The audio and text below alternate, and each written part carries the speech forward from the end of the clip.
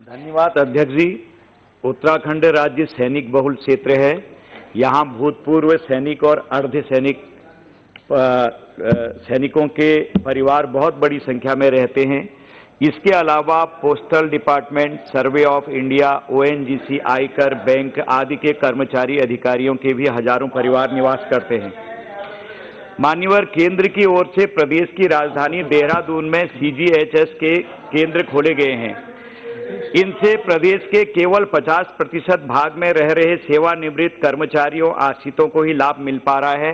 प्रदेश के आधे भाग कुमाऊं के छह ज़िले सीजीएचएस की सुविधा से वंचित है।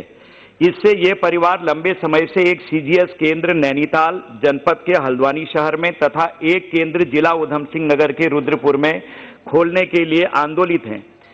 मेरा सदन के माध्यम से माननीय स्वास्थ्य मंत्री जी से निवेदन है कि नेपाल व चीन दो दो देशों की सीमा से लगे कुमाऊं क्षेत्र के पूर्व सैनिक अर्ध सैनिक बल व अन्य केंद्रीय कर्मचारियों के परिवारों को सरकार द्वारा दी जाने वाली सीजीएस की सुविधा हेतु जिला नैनीताल के हल्द्वानी में तथा जिला उधम सिंह नगर के रुद्रपुर में सीजीएचएस। केंद्र अस्पताल KP करने की कृपा करें।